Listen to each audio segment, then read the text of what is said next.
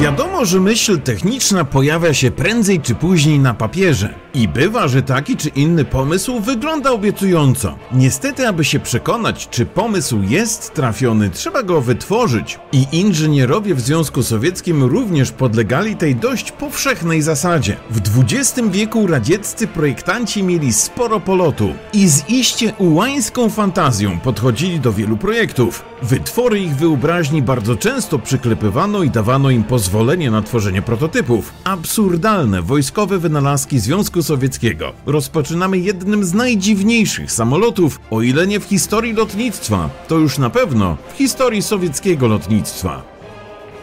Kaspijski potwór był eksperymentalnym wytworem sowieckich konstruktorów z lat 60. XX wieku. Kreml wyjątkowo mocno zaangażował się w ekranoplany, czyli pojazdy, które, aby uniknąć wykrycia przez wrogie radary, miały lecieć dosłownie na wysokości kilku metrów tuż nad powierzchnią wody lub innej, mocno gładkiej powierzchni. Kaspijski potwór był jednym z pierwszych samolotów tego typu i kiedy powstał w 1966 roku był również największym samolotem świata. Poziom ekscytacji konstruktorów był tak wysoki, że wbrew obowiązującym procedurom sami zasiedli za sterami maszyny. Pierwszy lot odbył się w październiku 1966 i co może zaskakiwać, albo i nie, lot zakończył się powodzeniem. Kolejne testy wykazały, że optymalnie potrafi lecieć 430 km na godzinę. Natomiast rozwinąć potrafił prędkość maksymalną 500 km na godzinę. Samolot testował testowano do 1980,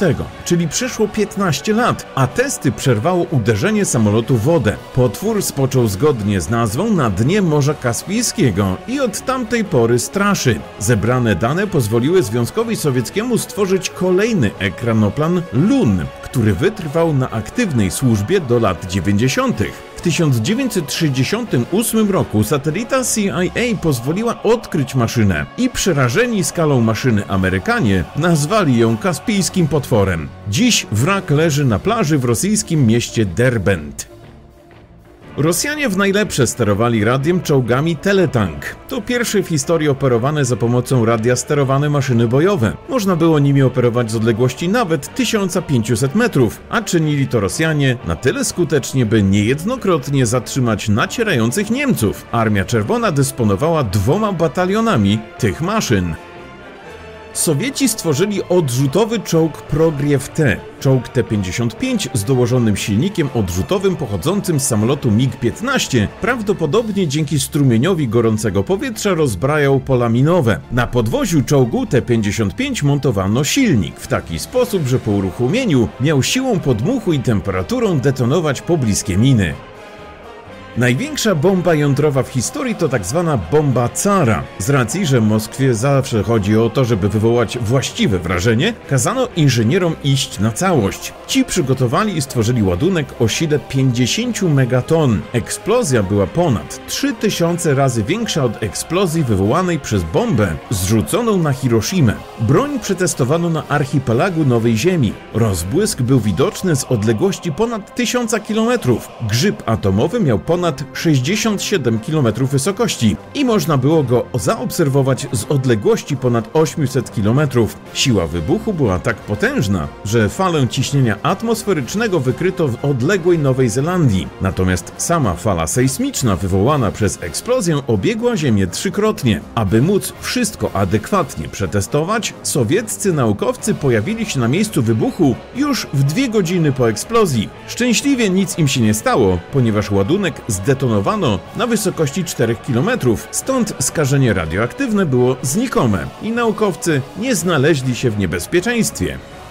Tajemniczy obiekt 279 pojawił się pod koniec lat 50. XX wieku. Kreml był zdania, że ten eksperymentalny, niezniszczalny czołg miał za zadanie walczyć na pierwszej linii frontu i przełamywać siły wroga w środowisku tak niesprzyjającym jak mokradła. Jednostkę wyposażono w nietuzinkowy czterogąsienicowy napęd ułatwiający jazdę po trudnym terenie. Do tego pojawiło się wytrzymałe opancerzenie stworzone z myślą o przetrwaniu fali uderzeniowej po wybuchu bomby atomowej. Czynnej służby czołg nigdy nie rozpoczął, ponieważ ważąc 60 ton był za ciężki, bo priorytetem w tym czasie były czołgi lekkie, ważące maksymalnie 37 ton. Gwoździem do trumny niezniszczalnego czołgu była skrzynia biegów, która nieustannie sprawiała problemy. W latach 60. i 70. popowstawały ZIły 2906 i 4904. Zamiast gąsienic postanowiono skorzystać z napędu śrubowego, który z założenia miał pomóc przy poruszaniu się w rzadkim błocie. W praktyce okazało się to niemożliwe. Moskwie zależało na tym, aby być podniebną potęgą, stąd nie powinno dziwić, że chcieli stworzyć dywizjon latających czołgów. Udało im się skonstruować model A-40KT w 1942 roku z doczepionymi skrzydłami i ogonem. Teoretyczne przerzucanie czołgów na linię walk było kuszące. Praktycznie jednak pomysł się nie sprawdził. Za to sprawdził się Tupolew ANT-20 Maxym Gorki, czyli największy samolot świata w latach 30. XX wieku. 63 metry rozpiętości skrzydeł to kilka metrów więcej od amerykańskiej latającej fortecy B-52 Stratofortress.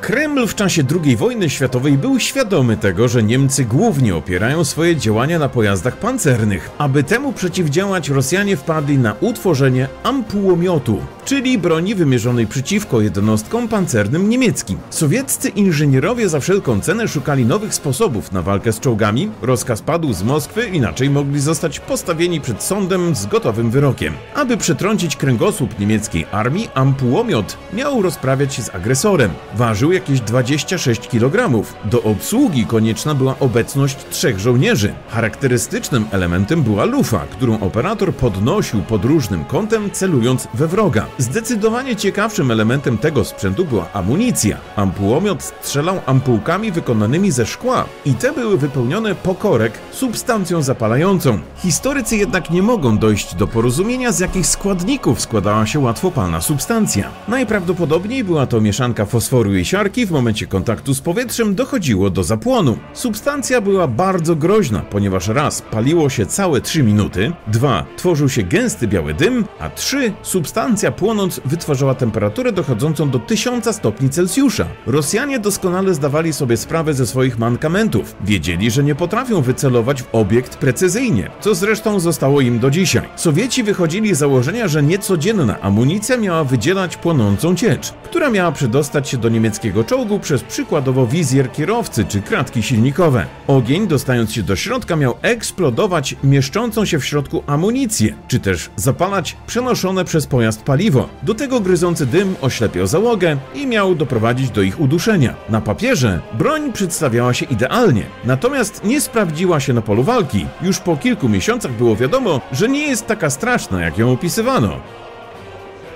Morskie oddziały dywersyjno-rozpoznawcze krajów bloku wschodniego, w tym także oddziały w Polsce, korzystały z pierwszego podwodnego karabinu. APS trafił na wyposażenie armii w 1975 roku. Potrafił skutecznie strzelać na odległość 30 metrów na głębokości 5 czy na odległość około 10 metrów na głębokości 40. Odpływ wody gwarantowała komora zamkowa bez tylnej ścianki. Zdecydowanie jednym z najbardziej zwariowanych wojskowych pomysłów był pomysł pochodzący z wyobraźni samych żołnierzy. Ci uznali, że dobrym pomysłem jest zamontowanie zestawu 88 karabinów maszynowych pod samolotem. Karabiny miały prowadzić totalnie niszczycielski ostrzał wroga. Teoretycznie tak zwany piekielny jeż miał wystrzeliwać aż 80 tysięcy naboi na sekundę. Przy takim ostrzale wróg nie miałby szans przeżycia. I mieli w tym trochę racji, przy czym jednego nie przewidzieli, że ładowanie urządzenia było istnym koszmarem. Wyliczono, że aby załadować urządzenie w pełni potrzeba było aż 100 godzin. Do tego samolot korzystający z takiego sprzętu musiał lecieć na bardzo niskiej wysokości, co narażało go na wrogi ogień. Pomysł ostatecznie nigdy nie wyszedł, więc poza fazę eksperymentów. W drugiej połowie lat 80. stworzono trzylufowy pistolet dla kosmonautów TP-82. Przez 20 lat latali z nią w kosmos. Nie po to, by bronić się przed kosmitami, a po to, by móc się obronić po powrocie na Ziemię. Kapsuły przeważnie trafiały na Syberię, a tamtejsza zwierzyna nie do końca szanowała osobę powróconego kosmonauty. Ten, aby móc sobie poradzić z wilkami czy z niedźwiedziem, miał swoją broń służbową.